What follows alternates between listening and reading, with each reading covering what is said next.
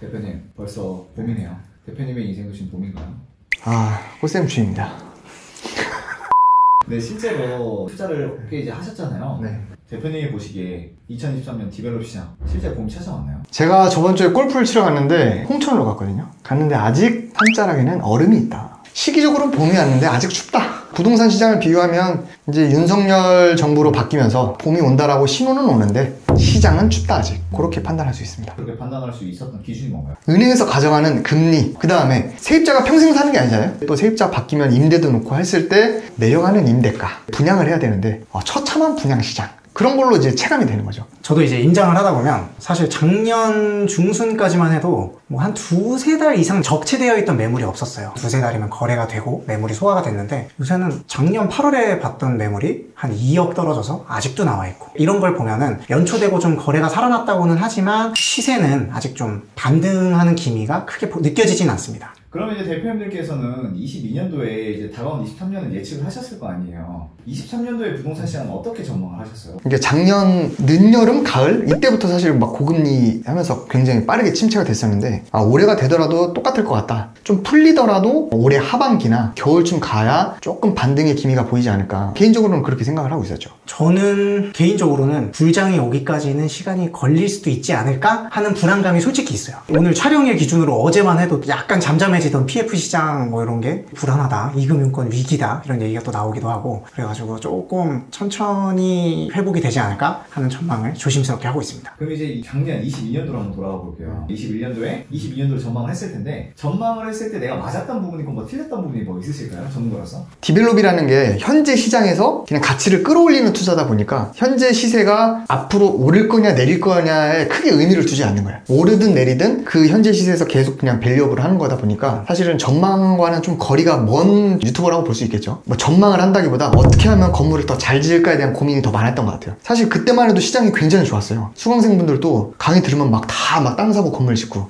그때만 해도 뭐 분석적으로 전망하진 않았고 뭐 내년에도 좋겠지 막연하게 그렇게 생각했는데 금리가 이렇게 급등하면서 이렇게 확 식을지는 몰랐죠. 우리 시장이라는 게 항상 우리가 예측한 대로 흘러가지는 않네요. 그렇죠. 예측하지 못한 대로 떨어질 수도 있고 예측한 것보다 더 올라갈 수도 있는 게 진짜 부동산 시장인데 정신적으로 리스크가 클 것 같아요. 스트레스도 많이 받을 것 같고 그럼에도 왜 두 분은 develop 계속 하시는 거예요? 그럼에도 그나마 리스크가 적은 게 develop이다. 왜냐면 이제 아파트나 이런 거는 떨어질 때 또 크게 떨어져요. 크게 떨어지면은 영끌을 해서 샀을 때 피해가 엄청 막심하고 develop 같은 경우는 투자이기도 전에 또 사업이기도 하다 보니까 내가 예측을 할 때 보수적으로 예측을 했음에도 불구하고 수익이 날 것 같다 라고 하고 진입을 하면 시장이 조금 떨어진다 하더라도 어느 정도 버퍼가 있고 이제 사업을 하다 보면 좀 변수들이 많아요. 변수들이 많다는 거는 안 좋은 변수도 있지만 또 좋은 변수도 있어요. 그런 변수들을 활용하면 또 위기를 극복할 수가 있거든요. 예를 들면 금리가 많이 올랐잖아요, 최근에. 지금 짓고 있는 건물을 8개월 동안 공사하는 동안 뭐 이자를 한 1억 정도면 충당할 수 있겠지 했는데 금리가 올라서 1억 5천이 되는 거예요, 총. 이제 그런 거는 변수를 어떻게 했냐 했을 때 그 건물을 지어주는 시공사한테 5천만 원어치에 대한 공사비를 조금 미룬 거죠. 일단 이자를 내야 그 현장이 유지가 되고 현장이 유지가 돼야 사실 시공사도 계속 먹고 살 수 있는 거기 때문에 분양이 되면 그건 정산을 하면 되니까 뭐 그렇게 변수로 활용할 수 있는데 아파트나 이런 오피스텔이나 기본적인 부동산 투자는 그런 변수 나 이렇게 운신의 폭이 좀 적기 때문에 확 망하면 그냥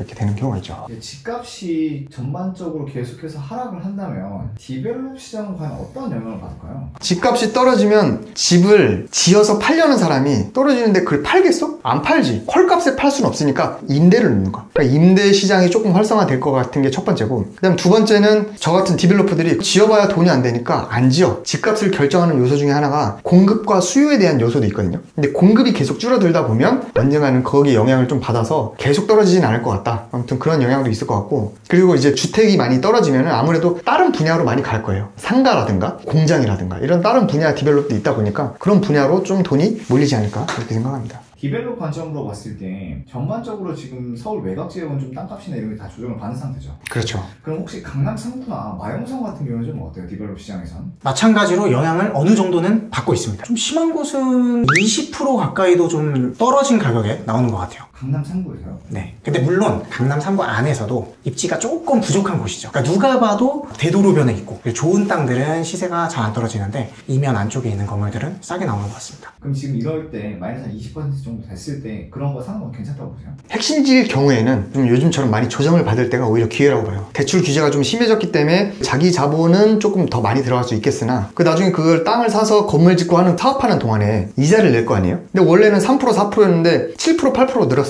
그럼 내가 뭐냐면 20억을 빌렸으면 그 이자가 그만큼 늘어나잖아요. 그걸 좀 여러분들이 계산을 해봐요. 그거 이상으로 땅을 싸게 사면 사실은 그것도 어, 마진이 남는 거거든요. 그래서 요즘처럼 좀 땅을 저렴하게 살 수 있을 때 어, 현찰이 좀 있다라고 하면 금리가 좀 높더라도 기회를 잡을 수 있지 않을까 그렇게 생각합니다. 정말로 그 내가 지금 봤을 때 최선의 지역 어디라고 보시나요? 강남 3구 아니면 마용성이겠죠. 이제 그런데 뭐 그것만 고집하는 거는 너무 이제 뭐 우량주만 고집하는 것 같으니까 기회를 보고 싶다라고 하면 저는 지방도 괜찮은 것 같아요. 지방이면 땅 값이 싸잖아요. 그런데 지방이라 하더라도 빌라를 지었을 때 분양이 될 정도로 수요가 있는 지역이 있거든요. 이제 그런 지역을 여러분들이 잘 포착을 하시면 develop을 했을 때 사실 거기서도 큰 수익을 얻을 수 있을 것 같아요. 그럼 그런 좋은 땅 볼 수 있는 방법이 뭐가 있을까요? 좋은 물건을 보는 방법은 일단 무식하게 임장을 좀 많이 다니고 거기서 기억에 남는 물건들을 직접 분석도 해보시고 이렇게 사례를 많이 보시는 게 가장 도움이 될 것 같습니다. 진리는 똑같아요, 여러분. 서울이나 지방이나 제주도나 틀은 똑같습니다. 내가 이거 건물 짓는데 얼마가 들어가 그 건물 지어서 분양을 하거나 임대를 놨을 때 돈이 되냐 안 되냐 그거 따지는 건 진리거든요. 그거를 잘 파악하려면 결국 임장을 가라. 서울은 사실은 우리가 임장하기 좀 비교적 쉽죠. 워낙 정보도 많고 하는데 지방에서 하려고 하면은 그만큼 더 많이 알아보면서 기회를 찾았으면은 의외로 여기서 또 수익을 낼 수 있다 이렇게 말씀드립니다.